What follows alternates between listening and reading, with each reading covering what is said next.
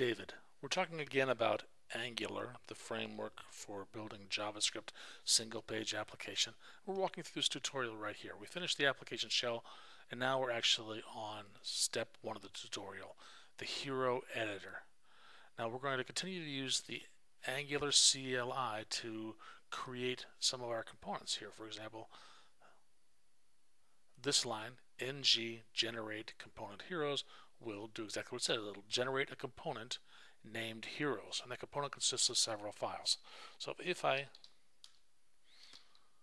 go to my directory here,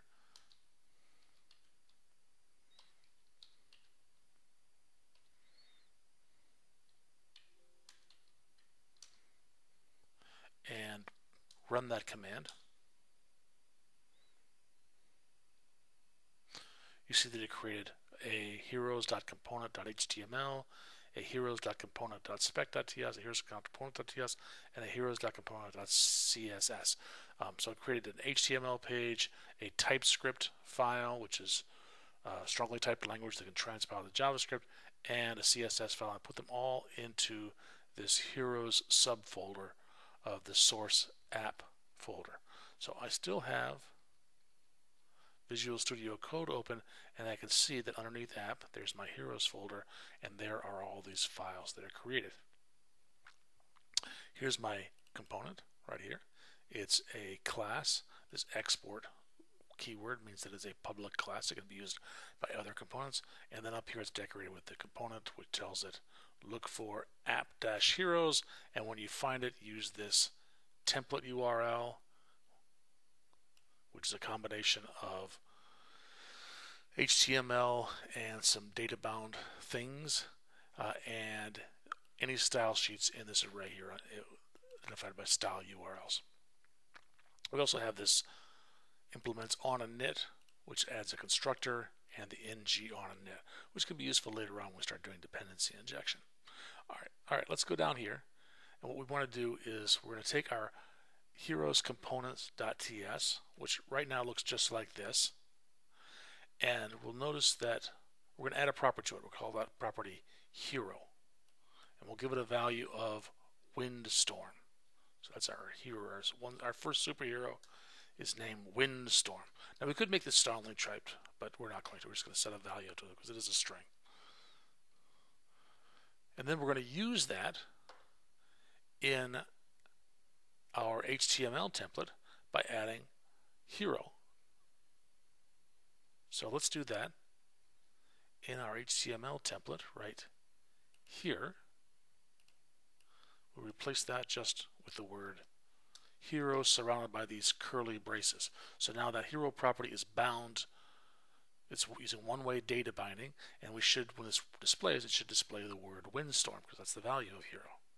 Now we need to get, we've just created this new heroes heroes.component.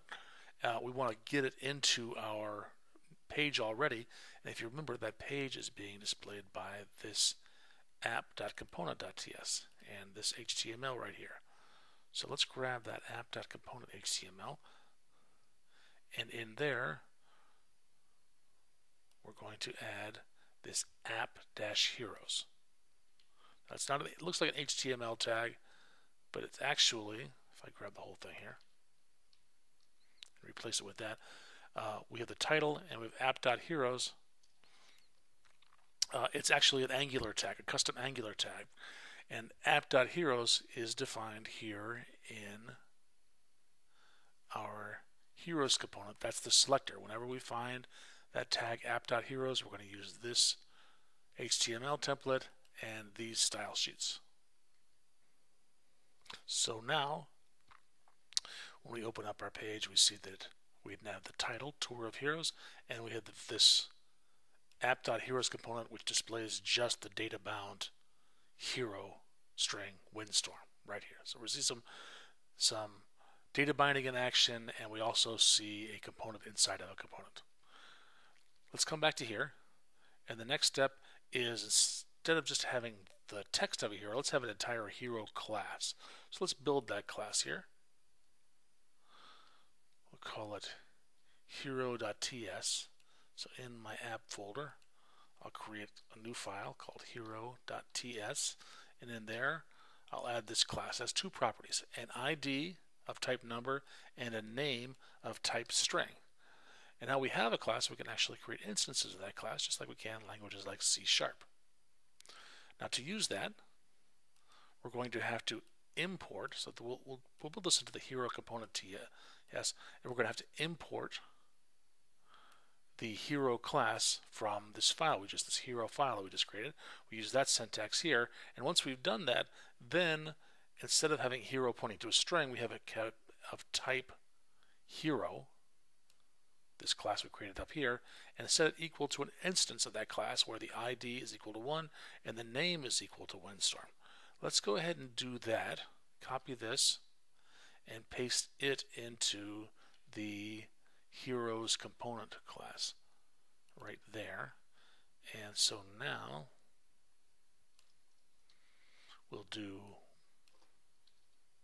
that and save it. And that's almost right here. But now we have hero instead of being a string is an object. And you remember that over here we were just displaying hero. So now we have object object wasn't quite exactly what we want. So let's go on back here and we're going to change that. And now instead of having just hero, we're going to have hero hero.name. We'll bind to that. And Next to the word ID, we'll have hero.id, and down here we'll have hero.name again. And there's some formatted HTML around that. So let's do this in our heroes component. Instead of just that, we'll do all that and save it with Control S. And now you see windstorm details. Uh, so hero.name details in an H2 tag, and then ID colon, and then the hero.id, which is one and then name colon and hero.name, which is Windstorm. You can see that data binding in action right here. If we wanted to make this uppercase automatically, there is, we can use this pipe command and pipe it to uppercase or lowercase or there's a bunch of different things we could pipe it to. But let's do that. We'll change this tag here and just pipe it to uppercase and save it. I go back here and Windstorm here is uppercase, but still data bound. Uh, the other thing we might want to do is maybe we want to make this editable, editable so somebody could change the name of this. And we've only shown one-way data binding. Let's go with two-way data binding now. And the way we do two-way data binding in Angular is with this syntax here. We'll take a property that we want to bind to. In this case, there's an Angular property called ng model. If I click on it, it shows me the help on that. And, oh, better scroll back down again. Um, right here, we'll bind the name of the property I want to value. And what that will do is it will not only show the value of this property in bound to this, but it'll be two ways. So if this changes, in other words, if somebody types into this text box, then the value of the property itself will change as well. So it's two-way data binding.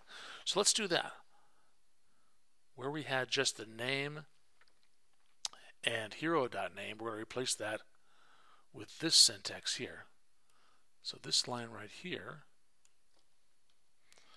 gets replaced with that. And when I save that, come back here, it automatically reloads. And nothing happens. Ah, because we've forgotten a step. And the step that we've forgotten is described right down here.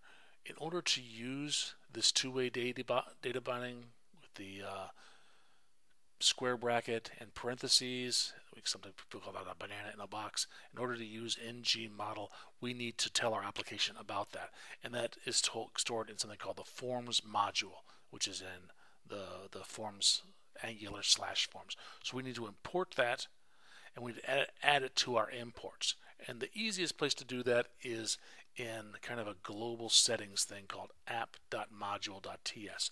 So if we open up app.module.ts, right here, you'll see that there are things that are already imported, like a browser module, an app routing module. We need to add to that. We need to import also the forms module. So let's do that. Right here. We don't need the routing yet. And the squiggly line says it doesn't know what forms module is. There's nowhere to find that. And that's because we need to add up at the top here an import to tell it where to find the forms module. So let's do that. And it says import forms module from this angular slash forms. And notice the squiggly line went away when we did that. I'll save that. All right.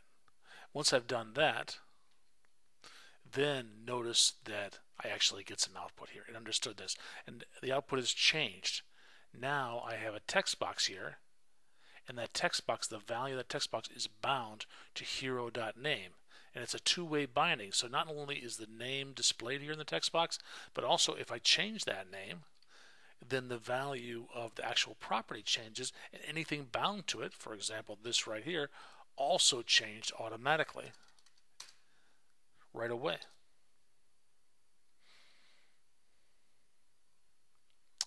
So in this example, we've actually started our hero editor and we've done shown one-way data binding here and here and two-way data binding here. In the next module, we'll do data binding that'll loop through a collection of items. This is David. Thank you for watching.